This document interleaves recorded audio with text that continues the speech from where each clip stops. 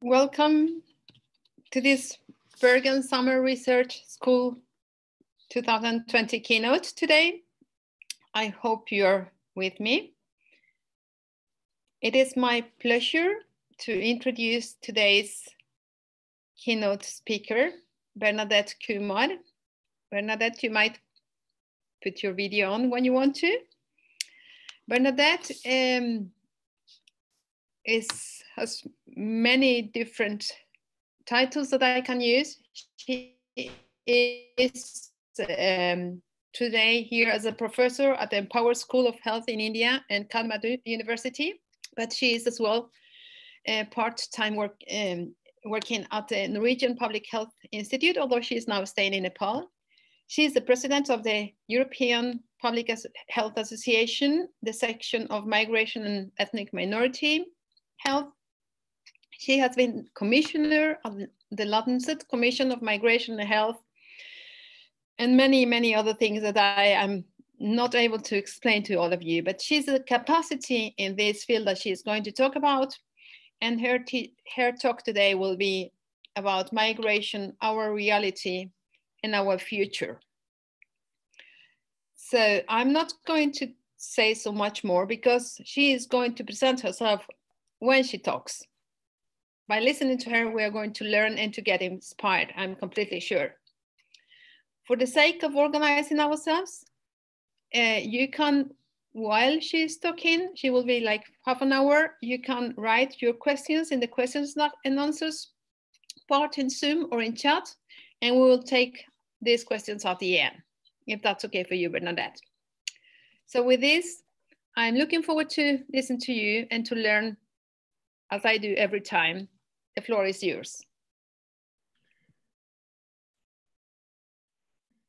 Thank you very much, Esperanza. Uh, I hope all of you can see my screen. Esperanza, if you can just nod. Uh, and I'd like to first of all thank the Bergen Research Summer School for the invitation and for giving me this opportunity to talk about a very important topic. It's migration and migration health that is our reality and our future. And what I'm going to take you through is why this is a defining issue for our health. Now, as everybody who knows me, including Esperanza, knows that if I can talk about this till the cows come home. So I'm going to speak uh, a bit quickly to get through a lot of information, and I look forward to the discussion at the end of it. So what am I going to talk about? Let me see um, for some reason, I'm not able to, yeah, okay. Um, I'm going to talk about, I'm going to introduce the topic to you. I'm going to give you some key concepts and definitions, what is known about migration health and what can be done. And of course, the way ahead. So let's talk about migration. There's 1 billion people on the move.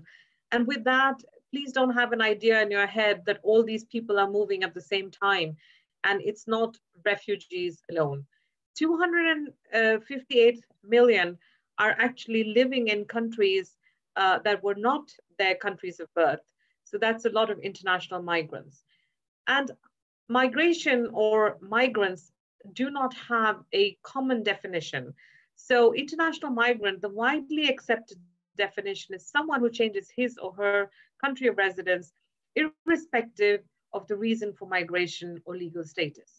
And while we can wonder about these definitions, and there are different definitions and different categories, one thing is certain that the migration experience, regardless of the reason, sets migrants apart from other vulnerable groups facing health inequalities.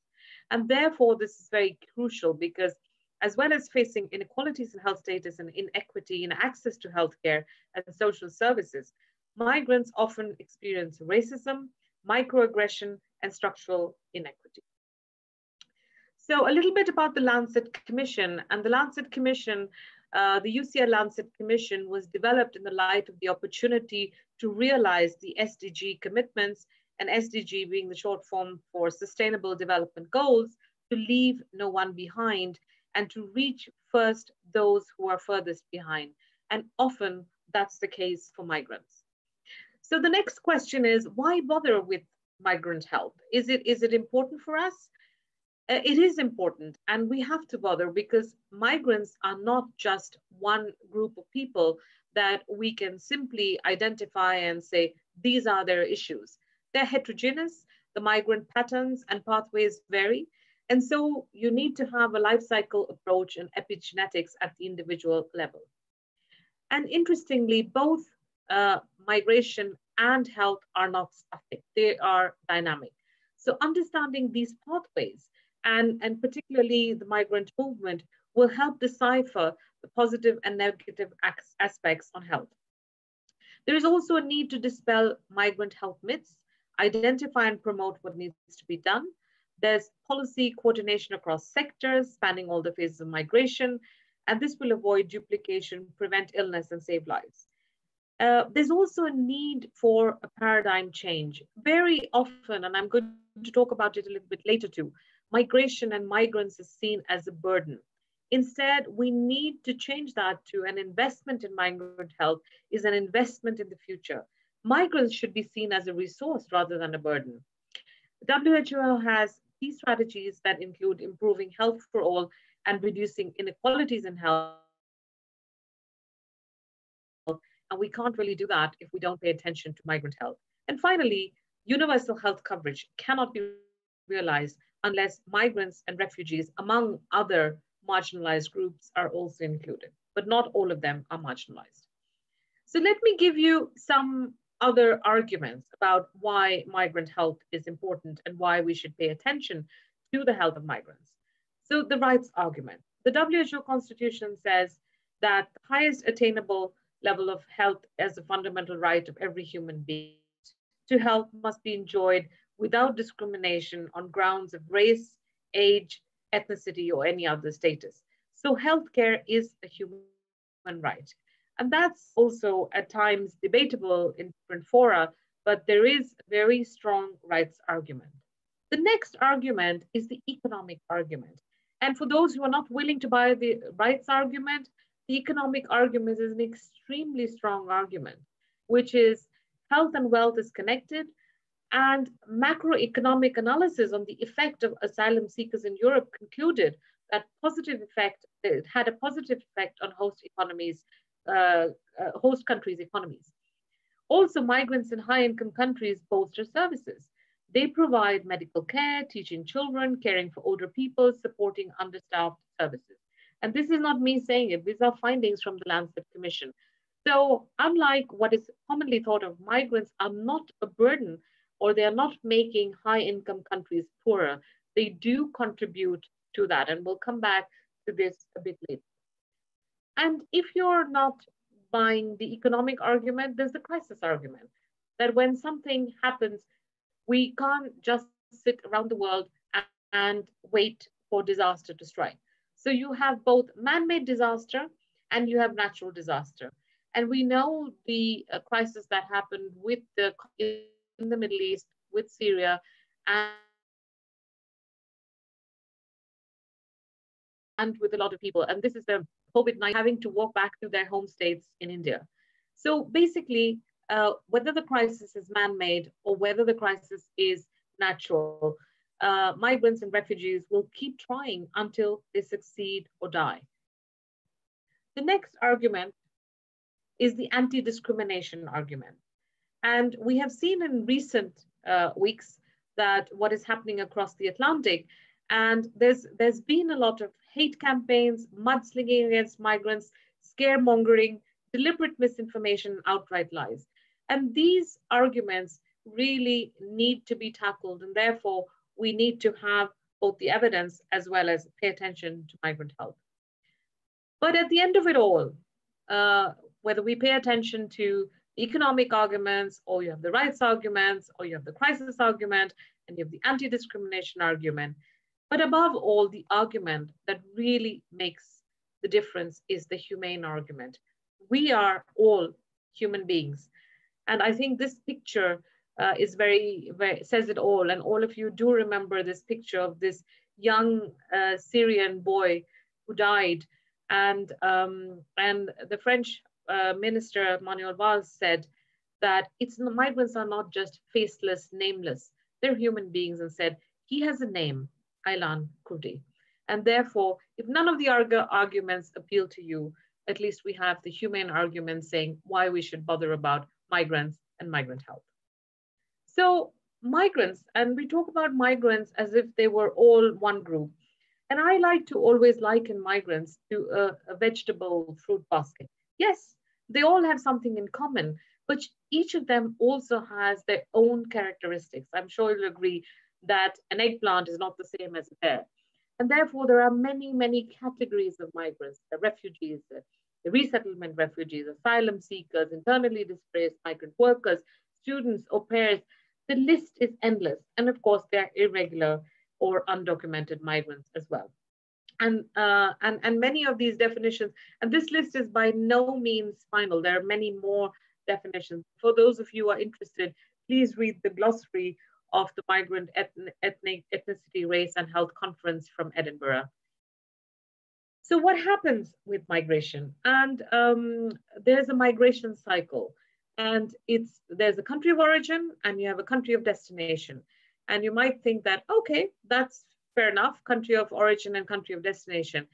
And maybe uh, in the older days, this transit was very short. Now this transit is becoming longer with interception and there's a longer term transit.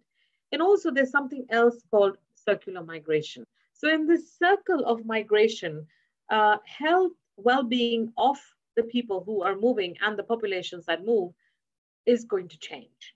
And the question is, how does that change? What happens to their health? So what changes? Of course, the physical environment changes, and that we see both in terms of internally displaced as well as those who move across border. There are changes in lifestyle, diet, physical activities, smoking, alcohol. There's psychosocial changes. People lose their social network. There's loss of family, friends. There's change in status, profession, societal norms. The rules are all very different. And with all these changes, it is only but natural that health will change. Risk factors will change over time. These changes could be both positive or negative. It's not necessary that they have to be in one direction. And there's, of course, a life course perspective, because unlike what we'd like to think or the immigration authorities would like to think, the life of a migrant does not begin when they arrive at a port or at an airport. It actually begins in the womb. And therefore, the life course perspective is important. And then there's also the cycle of Initially, when migrants arrive, there might be euphoria. They have finally arrived at country of destination. But this is often followed by disillusionment. And finally, adaptation takes place. Migration and health research uh, falls uh, often between the cracks, though in the last two decades, it's been strengthening and gaining strength for every year that goes by. And the reason is that migration researchers have looked at the demographics and health research looks at health with very wide lens of public health. And this falls between the cracks. But when migration health started, we had, there, there was a phase in the development in, of the interest in migrant health. So earlier interest was, of course, an exotic disease. What is different? It's all about the unusual diseases that migrants show up with infections or uh, some other kind of congenital diseases. And then you had the study of biological differences with a focus on some of these congenital diseases like hemoglobinopathies, etc. And then we said, okay, we need to really look at population patterns of disease, looking at mental health. But then the group comparison was always looking at the majority population. And in a lot of high income countries, the majority population was white. And finally, we're at the stage where we're looking at uh, adapting healthcare policy, research, and services to meet the needs of ethnic minority groups. The challenge is trying to ensure the healthcare system as a whole is primed to meet the challenges of multicultural healthcare and multicultural society. And then we have to look at what are the most common hypotheses we have for migrant health. So one of the most common hypotheses is the healthy mig migration effect, healthy workers, and actually started with the healthy worker. Those who are resourceful migrate, and they migrate to find jobs and to re-establish themselves to be more resourceful, also health-wise. And then there's the theory of ill health or negative health, that migration might adversely affect uh, health, particularly those starting with perilous migrant journeys or they have already been in jeopardy because of the situation they're, they're leaving. For example, conflict situations, disaster situation. There's a new set of health risks and morbidity and mortality are increased by movement from low risk to high risk. And then there's the allostatic load. And this goes to the core of the immigrants needing uh, need to adjust to a new environment. There's so many things that change. And I, you remember that slide with a lot of changes and stress. So it goes from the healthy migrant to the exhausted migrant. And some other theories, which I don't have the time to go into, but um, you, could, you could also review them is the salmon effect, the acculturation theory of how migrants adopt behaviors, social causation theory, and sometimes it could be, okay, is it, is it really not a problem at all? Are the differences we see in health just statistics? Is it a data artifact? I can assure you it's anything but the last. So if we begin to look at the mediators of migrant status and, uh, and uh, health status, there are different linkages. And what I'd like to say is one of the most common linkages that we know of that is very common is the socio looking at socioeconomic position. And if we look at barriers to integration, which we look at link A, this prevents migrants from realizing their full health potential. And this could be things like access to employment, access to and quality of education, discrimination, etc. And then we have link B, that is between socioeconomic position and health, and is issues related to health and safety at work, nutrition, healthy eating, housing and living environment, health awareness, and healthy lifestyles. And these moder moderators could also be true for other groups, not just for migrants. And then we have the possible mediators of a direct link between migrant status and health. And this is healthy migrant effect, except for asylum seekers, but you also have various kinds of unhealthy migrant effects, like higher prevalence of some infections, genetic or cultural factors that might either improve or undermine health, and experiences of direct individual discrimination. There are also two health system failures that could be the link between migrant status and health. Negative effects of denying access to good quality healthcare, and failure of health education and health promotion to reach migrants. And just to summarize it all, we have this model that was uh, developed by Esperanza and myself that sort of sums up migrant status relationship to ill health. So it's just about what I talked about. And you will see that it, it really is, everything is connected with everything else. So we can't be looking and we can't be working just in silos when it comes to migration and ill health. Okay, uh, let's go move forward and see what is known. What do we know? What does the data and research tell us? The Lancet Commission uh, that was uh, is is the first report that globally looks at migration and health, and and basically one of the key findings was that migration is an independent determinant of health. It is not just migrants' socioeconomic position, and therefore the well-being should be addressed as a global health priority. And how the world really addresses human mobility will also determine public health and social cohesion for decades to come. And in general, on an average, migrants are healthier, better educated, and employed at higher rates than individuals in destination locations, but not all. There are issues like laws, restrictions, and discrimination that put them at the risk of ill health. And of course, there are particularly certain groups that are not healthier, are not better educated, and are at risk, like, for example, uh, trafficking victims, irregular migrants, low wage workers, and asylum seekers. The other uh, issue is who are the migrants? And this is a very important thing in terms of the proportion of migrants. And if you follow media, you might think that there's a tidal wave of refugees. And the Lancet Migration actually showed that refugees are not the largest group. The largest group of people on move, moving are actually labor migrants, and the international group is one. So unlike what is common, popularly believed that the largest group of migrants is refugees, they are among the most vulnerable group, yes, but they're not the largest proportion. So what the Lancet uh, Commission did was looked at some of the myths about migration and health. And these were the ones that were not supported by the available evidence. And some of these myths were, are high income countries being overwhelmed by migrants? Are migrants damaging economies? Are migrants a burden on health services? Are migrants disease carriers that pose risks to resident populations? Do migrants have higher fertility rates than among host populations? I should have had a Mentimeter and got all of you to answer these questions, but now I'm going to give you the responses instead, uh, since we are not able to do that. So migrants are not burdening economies. An overwhelming consensus of evidence exists on the economic benefits. In advanced economies, each 1% increase in migrants in the population increases the GDP by 2%, per person by 2%.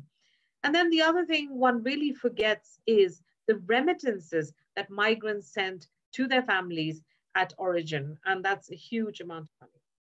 And migrants are not a burden on the health services. And I will talk about that a little bit more. So I'm not going to talk about it at the moment. And then we have this populist rhetoric. Migrants have many more children than host populations. And they're going to have so many children that they're actually going to overflood uh, the host countries but this is not true. The growth and decline of migrant populations affected by birth uh, also uh, depend on inward and outward migration. We looked at large scale longitudinal data from six countries and showed that migrants have lower first birth rates than non-migrants with the exception of Turkish women. And the birth rates among migrants were barely at the level of the population replacement, the total fertility rate falling below 2.1 births per woman and often falling. So this again was a myth that they were having many more children. And it was not just the next generation, but already after migration, that was not true. So when we look at access to healthcare, we know, and I, I don't have the time to go through all the issues related, but if we say that there are formal barriers and there are informal barriers, and both of these barriers are important, what we know is that it ends up with delay in diagnosis and treatment, and also increases morbidity and mortality. And this is uh, a study that was actually from Bergen, also uh, led by my colleague uh, Esperanza Diaz and, and other colleagues. And it showed, again, the myth that actually migrants are not using the emergency services more than the native Norwegians. And you will see in all categories, except for one category, and that is zero to five children. And if you also look at this other study looking at older migrants, then you see that again, the proportion of primary health care users by age group, you did not have migrant from other countries as being some of the largest group of healthcare services. So this debunks some of the myths that migrants are overusing health services or they migrated because they wanted to avail of better healthcare services. And in Europe, uh, and this uh, in, uh, other than access to healthcare, we, I don't have the time to go into mortality estimates, but the mortality estimates we, which we found in Europe and also in the Lancet Commission are lower uh, for all cause mortality, but could be higher for some infections. At a higher risk for infections, migrants are at a higher risk for infections themselves, particularly those who have deprived or poor socioeconomic conditions but transmission from refugees and migrants to host populations are low. The risk for non-communicable diseases increases with duration of stay, as does mortality, as we have seen in some of our studies, especially diabetes, cardiovascular disease through lower risk and uh, the lower risk for neoplasms except cervical cancer. Migration is a risk factor for mental disorders, especially among children and young people, but mental health varies. We've seen also that work-related injuries are higher among migrants. And, and also there is a, trend for some pregnancy-related indicators to be poorer among migrants. Okay, so what do we do with all of that? We have some knowledge about migrants. We know a little bit about the theories of migration. We know a little bit about uh, who the migrants are. Let's look at what we call the roadmap and the roadmap is a series of events that have happened internationally um, uh, that have shown us what has happened in the field of migration and health. And I will come back to this roadmap. So in the 20th century, there were two main themes. uh, access and quality of healthcare. And this is what was the focus. And health access, I've already talked about. In the Lancet Commission, what was really important related to health access was governance issues uh, and looking at access subnational, national, as well as international. And really looking at how this access could be uh, improved. And one of the things was by the link of health status to migration enforcement reinforces distrust of the health system and limits migrants' access to healthcare. So what the 21st century hopefully will be seeing, and part of it is underway, is the strong support from international governmental bodies.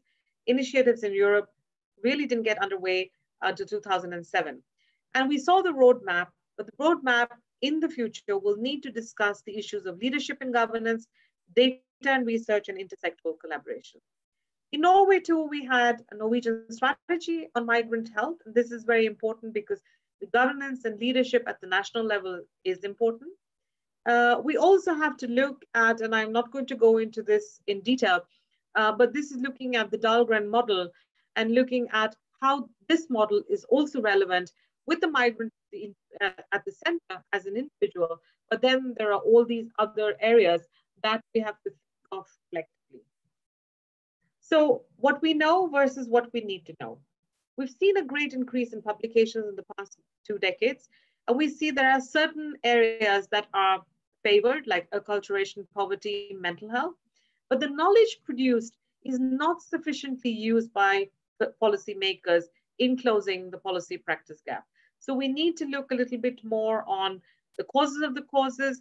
We need to look at preventive interventions. We look, need to look at long-term studies, and we need to see how we can incorporate that in policy. So is research a solution? Research is the basis. However, all research without any user involvement and any kind of uh, will have limited value. And there's a history of exclusion from research, particularly when it comes to migrant groups. So it's very important to include uh, the migrants right from the start and include the users, not only in research, and in terms of data, but also in policy development and in intersectoral collaboration. Uh, I would like to point out that we, the first Congress on Migration, Ethnicity, Race and Health was held in Edinburgh. And the important thing is that we can't go the path alone. And this was a conference that brought together all the different areas of policy, practice, research, and users. And, and basically, uh, the Edinburgh Declaration says what the collective group of over 750 people that attended uh, basically said, and all of you can go ahead and read that in the Edinburgh Declaration, including establishment of a global society. And while we have the Edinburgh Declaration at the global level, we also have the Bergen Declaration that I'm very proud to also present. And the Bergen Declaration was made at the National Migration Health Conference in Bergen two years ago.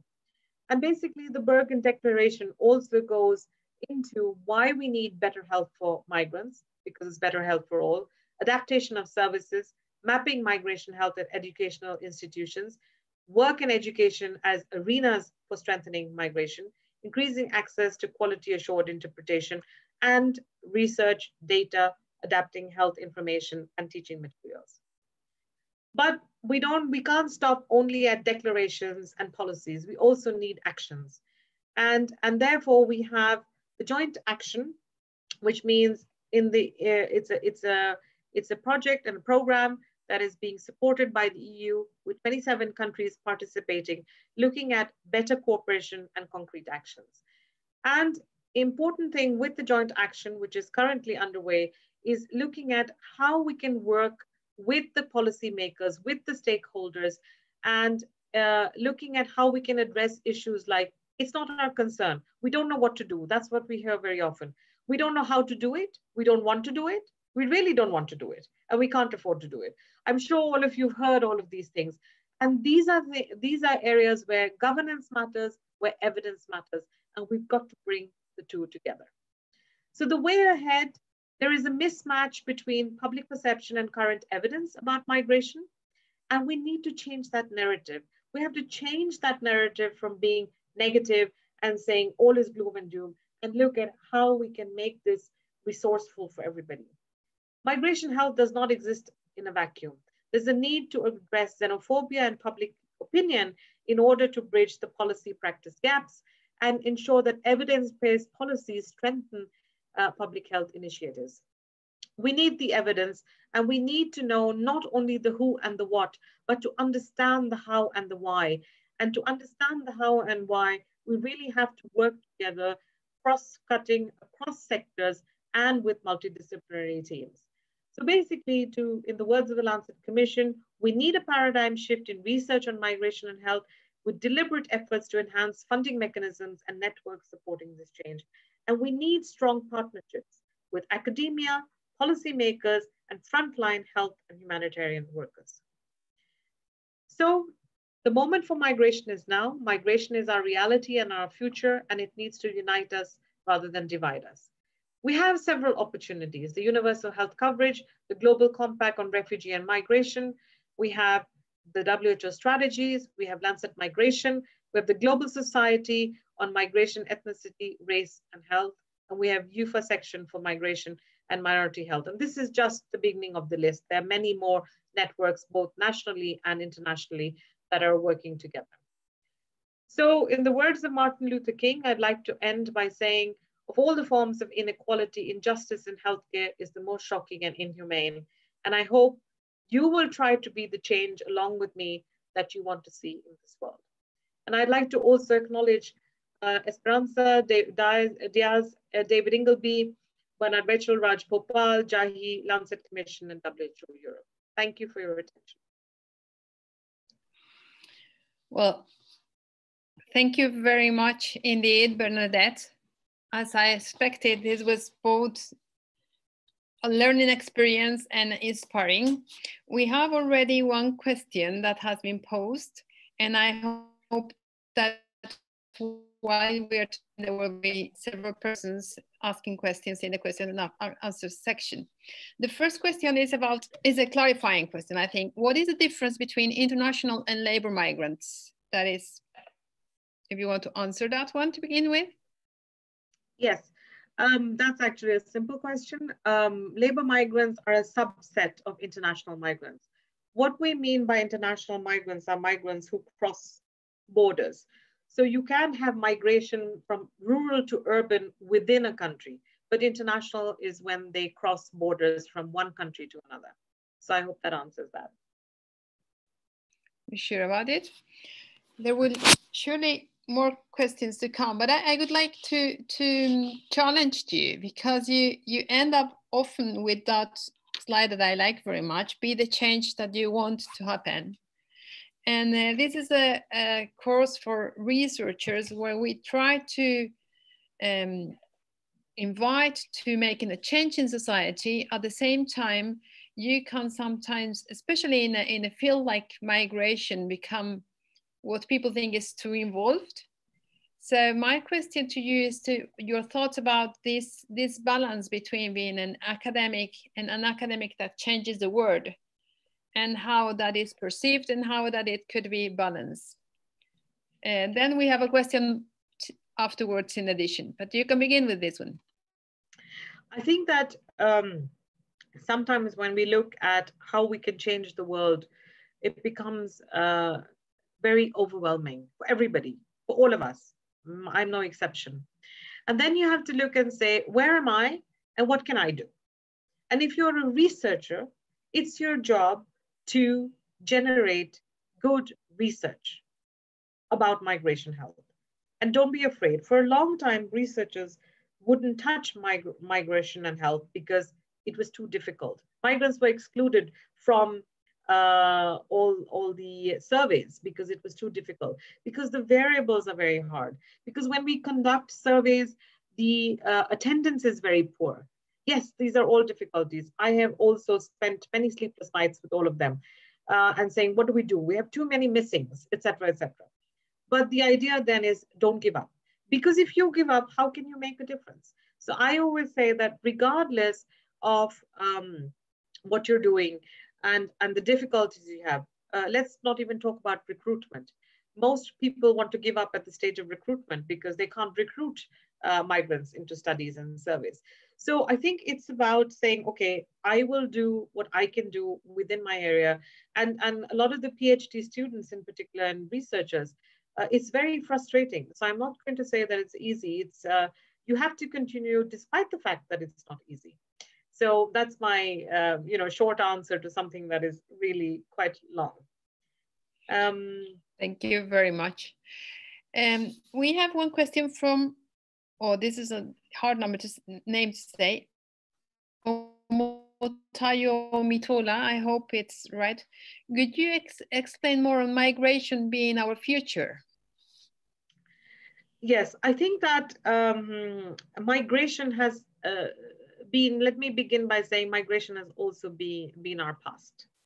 Uh, migration is not new. It's, it's a human phenomenon and human beings have always migrated. Now, the ease with which you can migrate, and, and here we have a little caveat and that is COVID-19, but it's not going to last with us for the rest of our lives, hopefully not. And if it does, we'll still have to move despite COVID-19. Um, it is in human nature to migrate. And therefore, by trying to uh, ignore migration or saying that we can put up fences, we can stop this interconnectedness. So we, we not only have interconnectedness in, in the world today, we also have interdependency. So globalization is also about interdependency. And therefore, it is what is the future. We, we cannot go back to being islands or being uh, nation states isolated from each other. I think that's uh, really not a reality. And therefore, it is part of our future. It's also part of our future because it means that we have to look at migration as being something positive, not just something negative. Thank you very much. As far as I see now, there are no more questions to you. There's somebody who is asking for the slides because they think they were very informative. So, so I hope that you will be able to share with us afterwards. You might part the, the presentation into as we were talking about. Um, there are no more uh, questions for the time in. I will have one more myself, and uh, and this is about you were talking about leadership in your talk.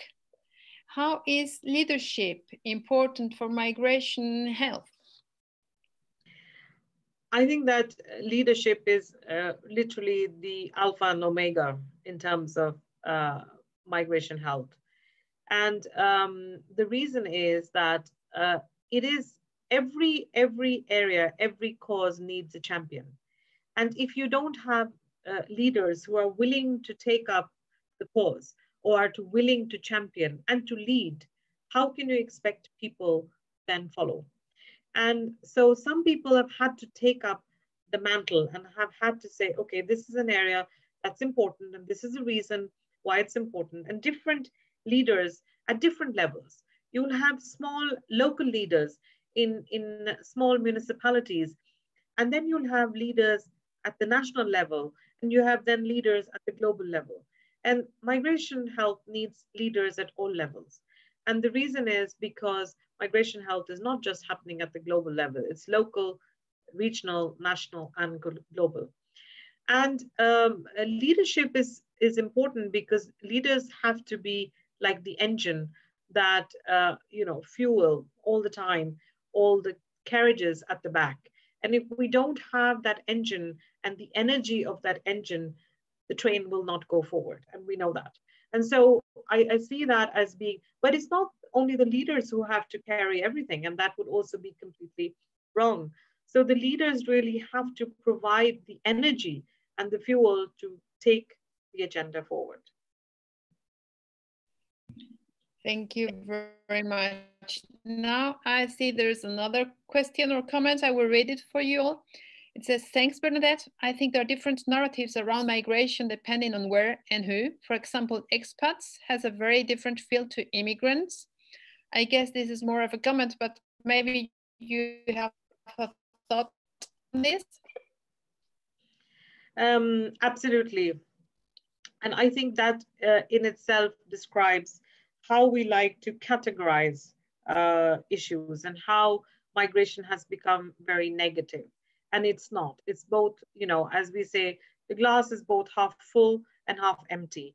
And uh, I think that those are some of the areas that we're going to have to look at uh, in, in, uh, in the future. That uh, when we like the migrants, we call them expats, or when they're useful. And when we don't like them, we can we call them um, migrants or illegal migrants or asylum seekers, etc., etc. So I think it's about saying that they're all migrants. And yes, it will be like humanity at large. It will be like populations, uh, some good, some bad. And I think that's one of the things that we'll really have to uh, look at the terminology and say we it's not about you know only selecting and saying we want the highly qualified highly skilled uh, migrants and we don't want the others who are fleeing from war and we will not have so it's not only the economic arguments it's also the humane arguments at the end of the day that matter. Thank you. Two more questions i see. One is from anand. How does migrant health interact with climate change? What are the main advocacy measures you suggest focusing on? Yeah, Anand, of course, has opened the Pandora's box, and um, I'm I'm really not sure that we can uh, we can uh, respond to that uh, adequately in terms of um, going into all the details. However, uh, climate change means also that people have to move. That's a fundamental issue and uh, people move because of climate change and you know i'm i'm sitting in a country where uh, it's definitely happening we know that there are lots of issues related to the the himalayan range to the uh, the glaciers that are melting etc etc and people who were used to a certain way of living certain livelihoods they have to move and when they move this will also change their health and therefore uh, climate change and health is, is basically about migrant health, just so that the climate change people know this is what is really the reality. But, but it is, there's definitely very strong uh, intersections here. And therefore we have to look at intersectionality in terms of how that will change. Also the health of those who don't necessarily move, but are affected by climate change. Um, and here it can be whether it's droughts and other uh, things that are taking place as a result of climate change, um, their livelihoods will be impacted, their health will be impacted. And it can go in both directions. And a lot of the changes that one sees is actually a change in the negative direction. So I think that one of the things that we're trying very hard, uh, and this is again, uh, Lancet Migration is working extremely hard on that, uh, is not to work in silos. So we're trying very hard, and there, there's also the countdown to climate change. And Lancet Migration is trying to work very closely with them so that we don't end up in silos because these issues are very interconnected. So we're going to need, as researchers, as policymakers, uh, to look at both these issues through the same lens and not be looking at different lens. So that's one of the advocacy measures of saying that we should really be working on both these issues in a cross-cutting manner uh, and not trying to work on them uh, in silos. That's, that's the short answer of it. That was a good answer. There's another one, which is another question, which is relatively related. Uh, Lucas writes, I saw many categories of immigrants, labor, refugees, on your presentation. What about the environmental immigrants? Are they also being addressed by health research? You partially answered that one. And what are the main findings on this issue? Well, at the moment, I can say that uh, uh, the work on uh, both climate change and migrant health is just in its start phases. This was one of the main recommendations of the Lancet, uh, both UCL Commission, but also of the Lancet Migration. So we are still looking at conceptual frameworks. So I wish I had some data at the moment, but in two years, if you ask me that question and if I don't have any data or colleagues don't have any data, then you can take me to task.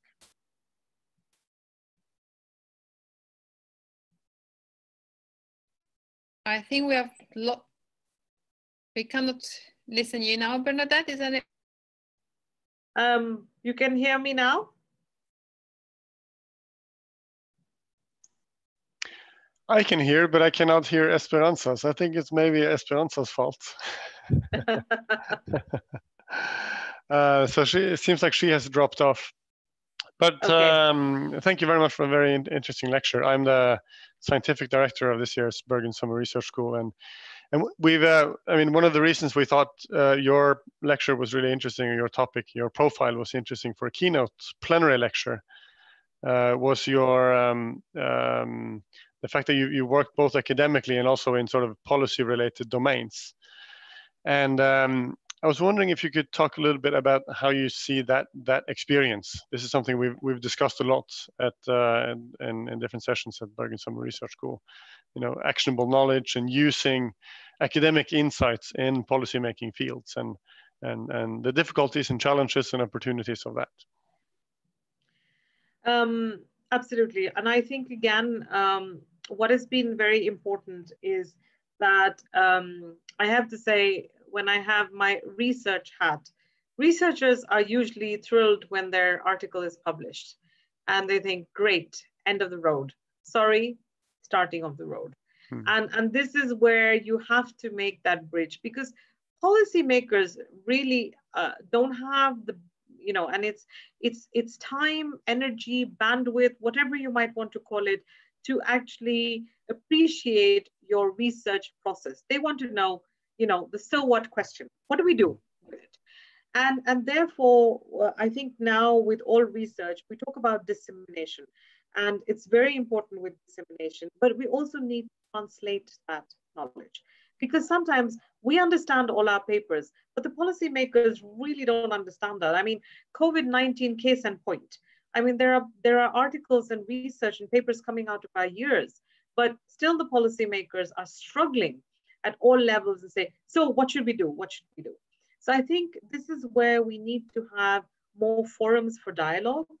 Uh, we really need to bring people together. We need platforms to discuss and where research can discuss with policymakers. And we see that in some countries, it's part and parcel of the existence. For example, in Norway, it's not a very unusual thing to have that. But in a lot of other countries, it doesn't happen. And, and globally also, it doesn't happen where you get policymakers or leaders involved uh, in such forums. So therefore, we need those forums and we need those platforms to have that dialogue. Yeah. Good. Are there any other questions from uh, students?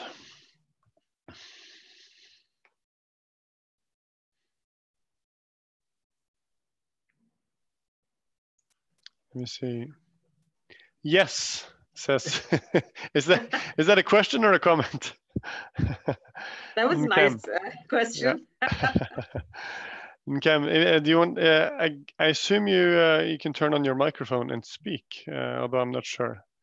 Um, but um, if you want to elaborate a bit on that in your in the in the comments uh, section, and also Esra has has raised her hand.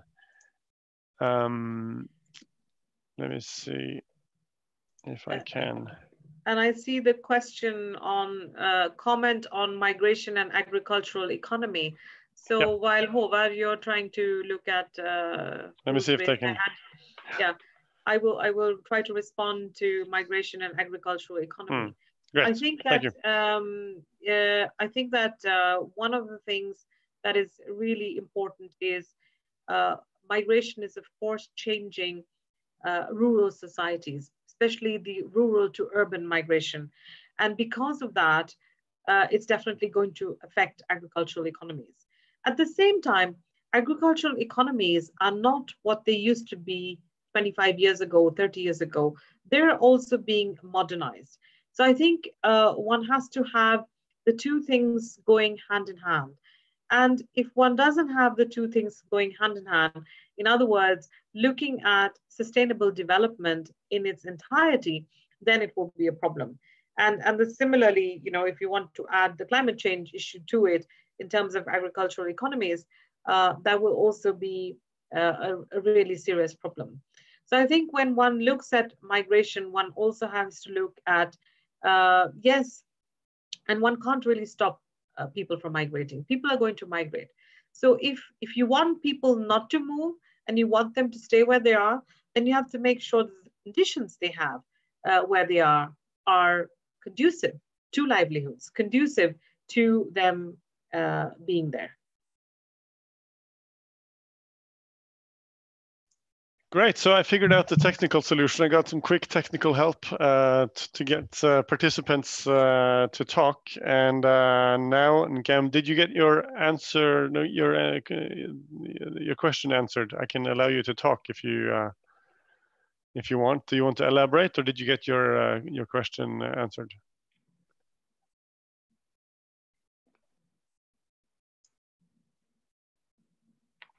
Yes, you can speak.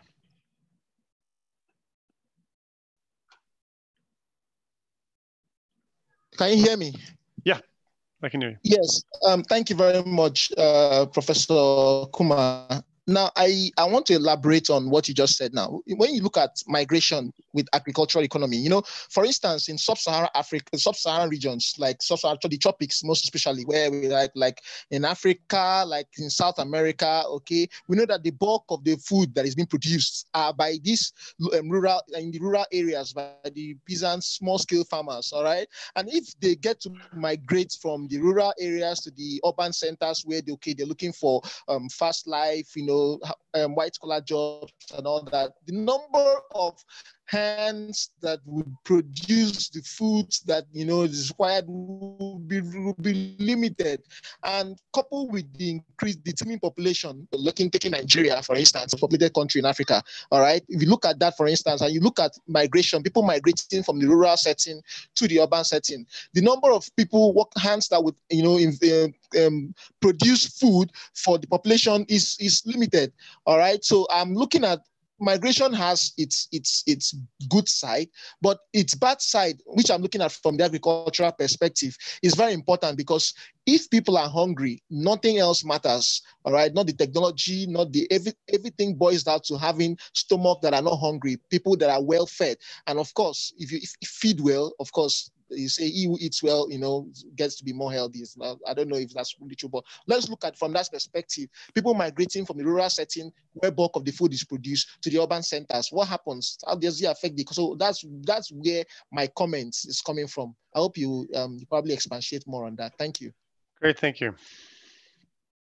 Yeah, I completely agree. So it's not as if um, uh, migration it's not a good and bad thing it's about a phenomenon that takes place. And then sometimes it's to the detriment of others and it also jeopardizes food security.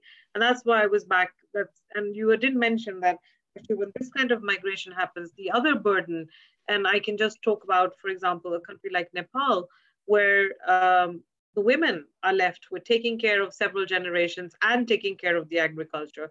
So it becomes a, a triple burden for them. So it, it is problematic, and the rural to urban migration is problematic. At the same time, you have to look and see where, therefore, you need overall development. Uh, and the overall development has to be looked at, uh, looking at how um, things in the rural areas are improved. For example, if there are no schools in the rural areas, then people will move.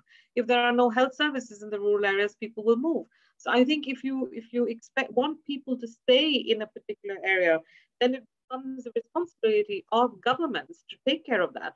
And and often that is what happens. There is a failure in the system to provide uh, people with or fulfill their needs, and because of the unmet needs, they they move, and it the the the, the consequences of that are quite disastrous.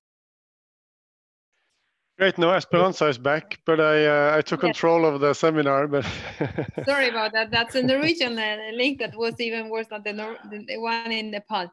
There is one question, but I don't know if that was the one you were answering already. It says, I wanted to ask about what can be done on the ground for the most suffering migrants on the, on the ground to raise they, their access to health living, to healthy living. But maybe Dr. Kumar has hmm. answered that question already. Well, there are two questions here on um, that have not been answered on on sort of what can be done on the ground. I think both by the media and sort of in general of intervention. So maybe you could just um, answer that. Sort of what what can be done on the ground for migrants' health, uh, and I think that's that's probably the final question uh, answer we have we have time for, yeah. and then maybe Esperanza will just uh, want to wrap up and, and and say thanks after that. Yes. Uh, I'll, I'll, start with the fact that uh, what uh, with the media and uh, the media is extremely important, but there are two kinds of media today. There's media and there's social media.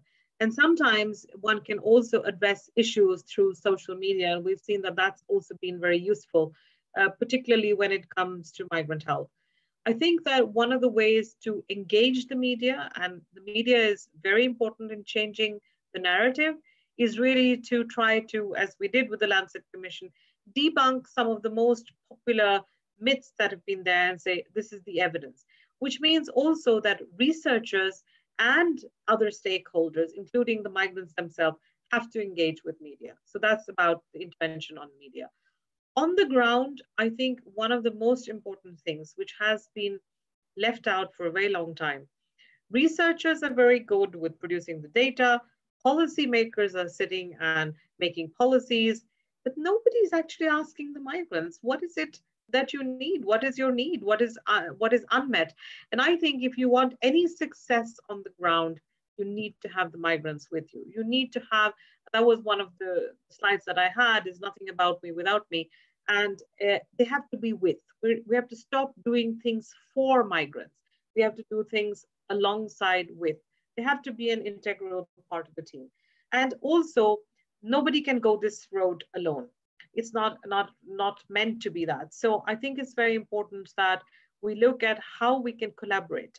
And collaboration on the ground is extremely important between, and I think Bergen is a, is a very good example in COVID-19. And for those of you who don't know, uh, Esperanza is leading up a project where you have uh, the University of Bergen where you have the municipality of Bergen, you have the Center for Undocumented Migrants, and this is completely unprecedented.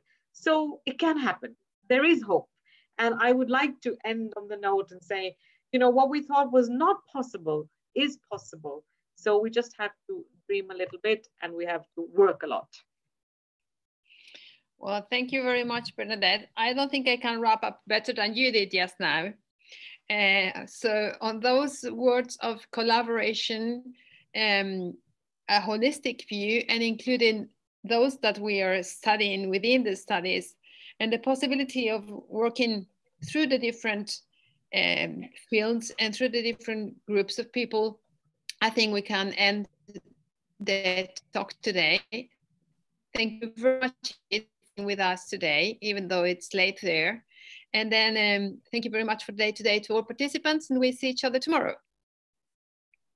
Thank you. Thank you. Much.